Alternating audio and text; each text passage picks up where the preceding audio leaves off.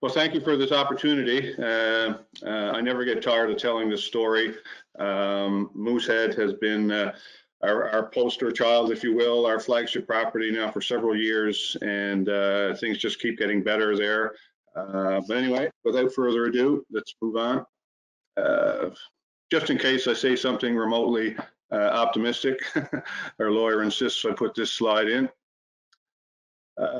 Here's just a snapshot of the company where we're at right now with our, our current uh, uh, share position at just over 200 million. Uh, as Janet pointed out earlier, we just finished the financing uh, uh, spearheaded by, by Mr. Eric Sprott, who remains our largest shareholder at uh, just around 29%, I guess, fully out.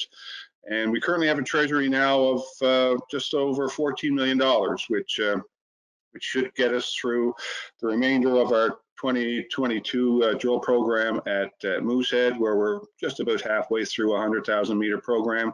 So looking for six to seven million for that. Plus, uh, we raised uh, we raised to five million uh, that closed last week to uh, help push forward our, our mainly our joint venture projects with with Benton that I'll get into just quickly towards the end. So we have two 100% owned projects. Uh, our flagship Moosehead project, obviously, is uh, our biggest newsmaker, and uh, the other 100% owned uh, project is the Fleur de Lis, which is up on the Baie Verte Peninsula, and uh, it's chasing uh, Dalradian type type high-grade orogenic gold.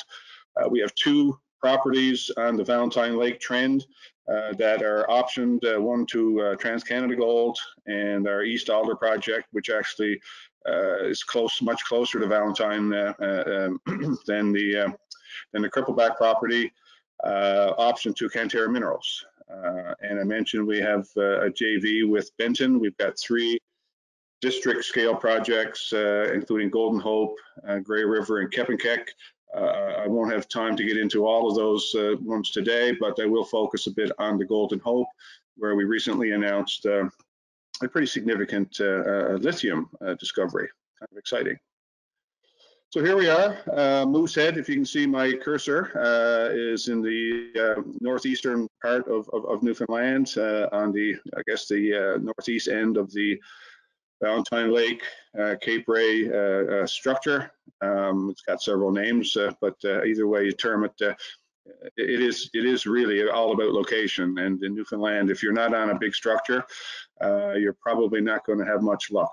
But uh, fortunately, Newfoundland is blessed with uh, with several of these structures, including where our Fleur de Lis project sits up here on the Baie Verte line.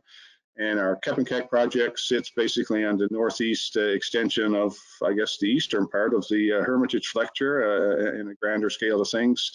Our Golden Hope project straddles the Baie d'Est fault system here in the south and the Gunflap Hills, which is linked over towards the Cape Ray property. Uh, and uh, and our Grey River property uh, down at the south coast here, where we also had some uh, rather, I think, strong results from uh, from drilling uh, from our program last fall.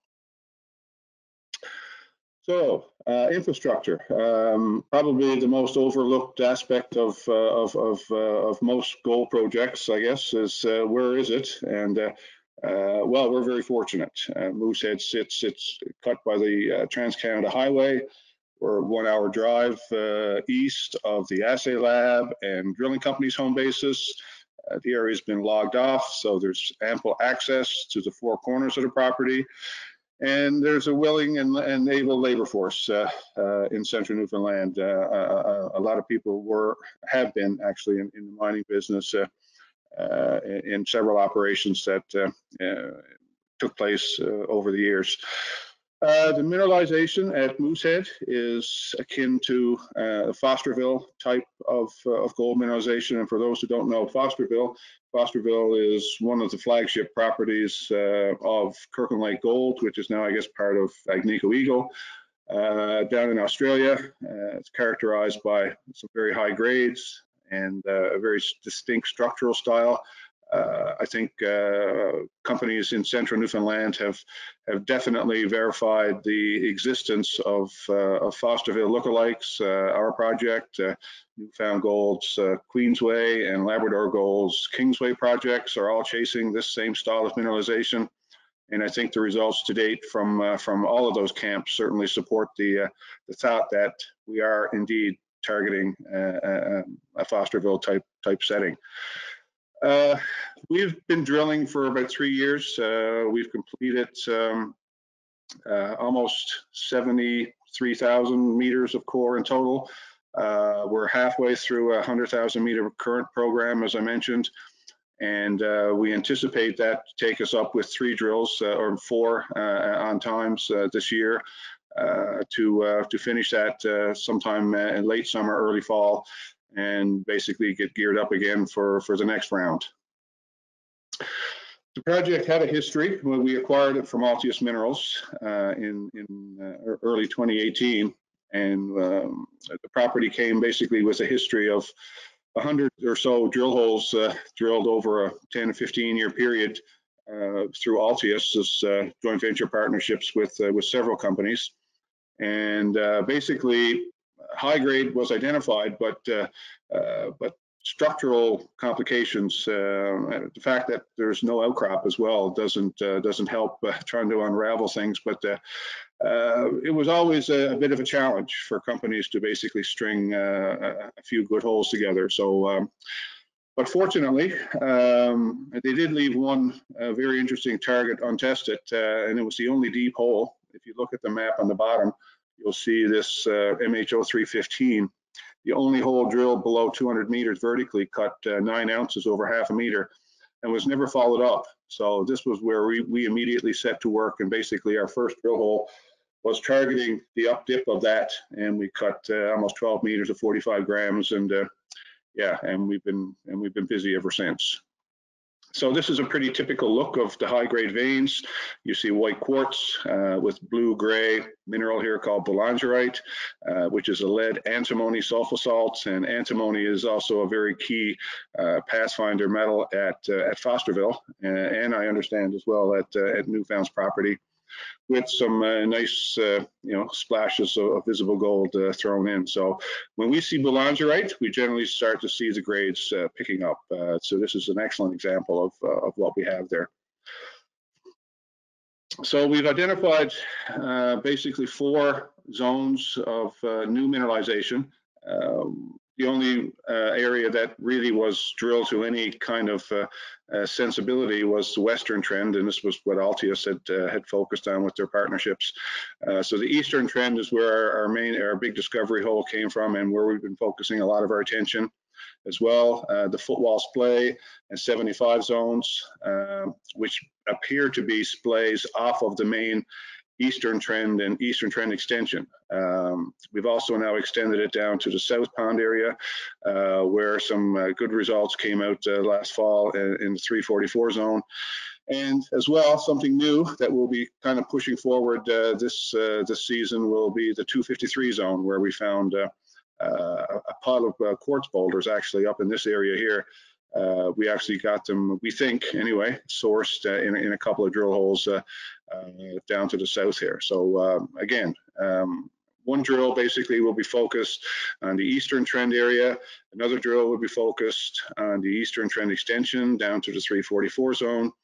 And uh, one drill will actually be doing a bit more wildcatting around. Uh, we've got a lot of untested targets that sit on the property and um, we've probably been uh, a bit uh, a bit slow in, in getting to those. But uh, when you're getting good results in the eastern trends and uh, and environs, it's it's hard to stop. So, uh, but yeah, we will be doing some more reconnaissance type uh, work this year. Our last news release featured some pretty good holes. Um, basically, what you're looking at here is the eastern trend. This is a section that you see here. So what we're doing basically is finally putting you know some good continuity together here with some of these intersections. Uh, eight grams over five meters here in hole 63, which was a historical hole uh, we put in I think in 2019. Uh, more recently, of course, we've got uh, you know uh, 4.8 meters of uh, just over 20 grams from hole 345. But I guess the story here is the fact that you know, uh, really good intersections. And the deepest hole actually on this section cut uh, uh, 10 grams over 3.8 meters and is still open. So uh, the blue lines here are, are, what you'll be seeing for 2022 proposed holes uh, from the barge because uh, North Pond sits here. These are holes, all these holes here are, are drilled from the barge, which has been um, basically a real good story uh, for, from our perspective, drilling off some really nice high grade uh, close to surface. Here we have uh, hole 342, which is just off this section, by the way. It's just out of the page here a little bit, five and a half meters of uh, 56 grams, including three meters of 100. So uh, again, just some spectacular grades. Uh, quickly on to our um, joint venture with Benton. I'm really only going to talk about one project uh, now. That's the Golden Hope. Uh, Golden Hope started out life, uh, and it still is, uh, a very strong and promising uh, gold target. Uh, I mentioned the, the Bay d'Est Fault, which basically is linked down to the Hope Brook, past producing Hope Brook gold mine area, which is now being advanced by Big Ridge Mining with about a million ounces in, in resources. Uh, as well as the northern part of the property, which is uh, targeting a structure called the Gunflap Hills Fault, which is linked to the same feature that hosts uh, the Cape Ray and Valentine Lake deposits. Uh, Valentine Lake would be just off the map here. So anyway, um, when you send good prospectors into the field, good things can happen. And that's exactly what happened with uh, with um, Golden Hope. Uh, we turned over some some pretty interesting um, dikes, uh, pegmatite dikes that carry uh, um, relatively robust values in uh, in lithium. And here you see basically a piece of the uh, discovery outcrop that runs just under 2% uh, Li2O. You see the uh, nice green spodumene crystals there and the gray quartz and feldspar matrix. And again, just a, just a handful of some of the samples that we've uh, come up with over, I think it's a two kilometer, uh, just over two kilometers of strike length, uh, and almost a kilometer or more um, in terms of its cross strike potential. Uh, this is MAG uh, with the surface sampling as we have it so far. Uh, through literature searches, we're finding references to pegmatite dikes up to six kilometers away from this area. So we've got a lot of, uh, in fact, there's at least 20 uh, uh, references to uh, to dikes that we have to follow up on in the spring. So we're waiting for the snow to melt to get out there. Uh, we just finished uh, our, our, program, our, our rec reconnaissance, sorry, program drilling just a little while ago and put out the first results from that program last week. And we were very pleased to see you know, values, uh, you know, in, in, the greater than 1% range. Uh, in fact, the uh, the dike that we intersected uh, cut uh, 8.4 meters thickness, probably close to true thickness, and uh, it averaged just under 1% Li2O, with up to 1.76% in, in, in selected samples within that. So again, just just very pleased with that to basically verify what we were finding at surface. And for those that missed the uh, webinar uh, seminar series last week, I gave a presentation as part of the government's um, uh, winter uh, winter talk season. Uh, this is what the stuff looks like in, in drill core. You see here these pale green, and they look like minute rice. That's the only thing I can think of when I look at that. Uh, grains of minute rice in the in the in the pegmatite dike, and uh, yeah, this is this is part of the 8.4 meter intersection that uh, that we reported on last week. So we're going to go back. Uh, we're going to put in a camp and um, and drill probably 25 or or 30 more holes uh, in the next round and uh, and see what we come up with. Uh, we've only basically just scratched the surface here. I think we may have tested 100 meters of strike length. Uh, and certainly only about the same in, in the across strike uh, distance. So we, we've, we basically drilled 5% of, of what we know to be, uh, you know, uh, uh, prime uh, pegmatite dike area. So uh, quite exciting and, um, and lots more news to come out of this. So, and I'll leave it at that. Um, and I hope uh, you took something away from this. thank you.